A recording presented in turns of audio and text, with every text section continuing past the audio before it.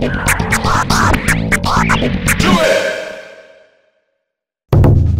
いどうも、ガンナオチャンネルガンプラ大好きダンサー、ナオトです。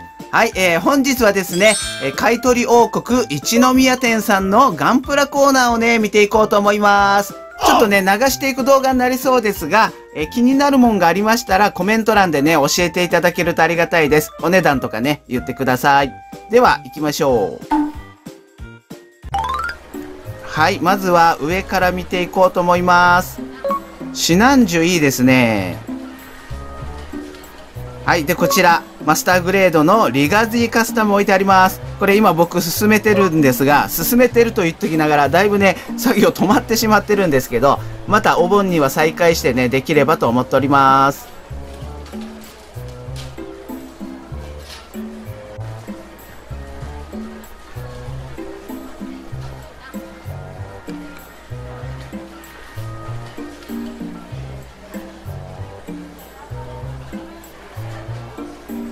はい。ショーケースの中にもね、たくさん置いてあります。こっちはメタルビルドかな？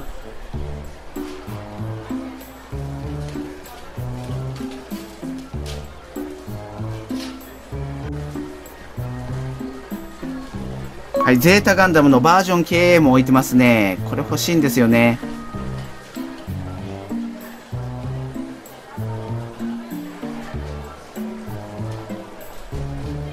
はい、こちらには完成品が置いてあります。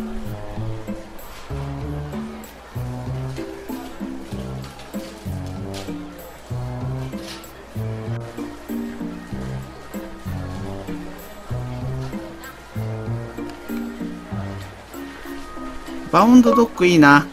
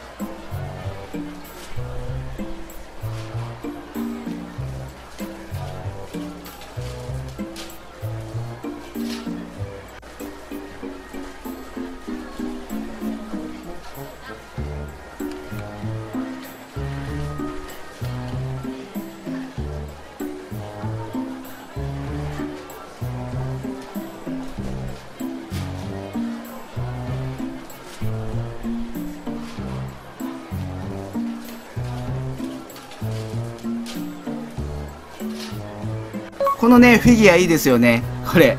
アムロ、かわいい。欲し。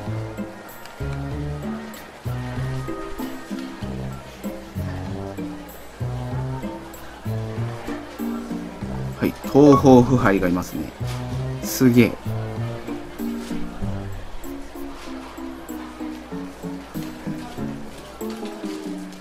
アイナ・サハリンも置いてあります。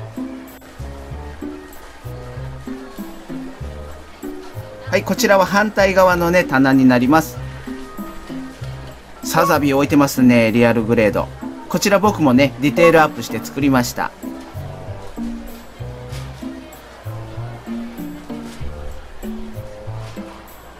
はい、ハイグレードシリーズもたくさん置いてます。ここら辺は水星の魔女のキットかな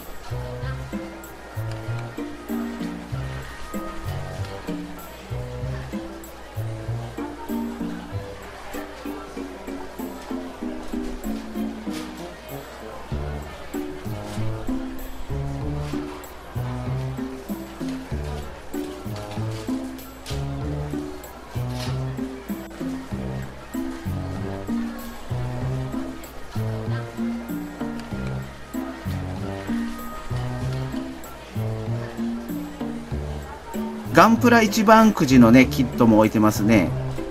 こちらマスターグレードの百式です。百式もね、一回作ってみたいな。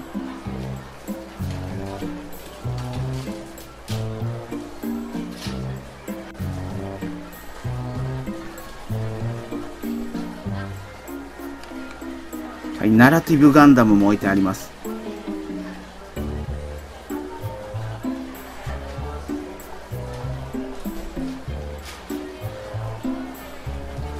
はいこっちにもね、リアルグレードのサザビー置いてあります。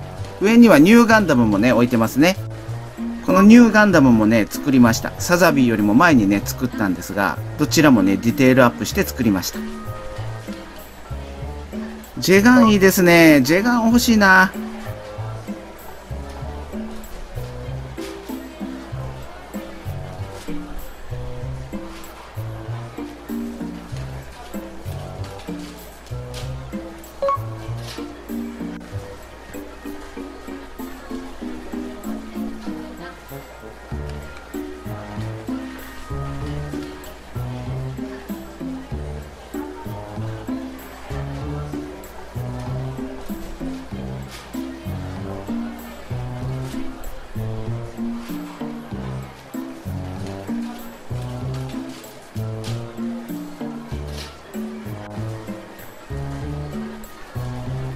はい、ハイグレードシリーズの EG8 が置いてあります。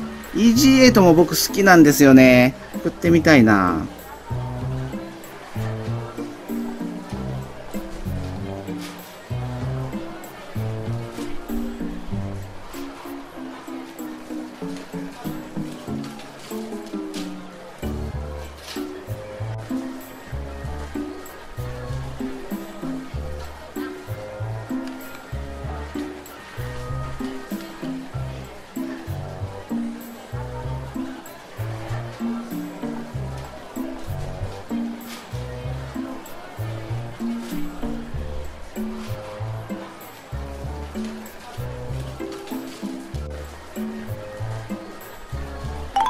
はい、そしてね、こう目を奪われたのが、こちらの完成済みのね、キットと、ジャンク品ですよね。が、こんなたくさん置いてあります。これはすごい光景でしたね。なかなかこんだけ置いてあるとこ見たことないというか。で、こちら。ハイグレードのですね、ジオが置いてあったんですよね。これちょっと欲しかったんですけど、まあ、贅沢を言うとね、マスターグレードの方のジオが作ってみたいなというか欲しいなと思ってるんで、まあ、今回はちょっとスルーしました。なかなかマスターグレード手が出ないですけどね。いや、すごいたくさん置いてありますね。ディテールアップする人にはね、非常に魅力的なコーナーなんじゃないでしょうか。部品取りだったり。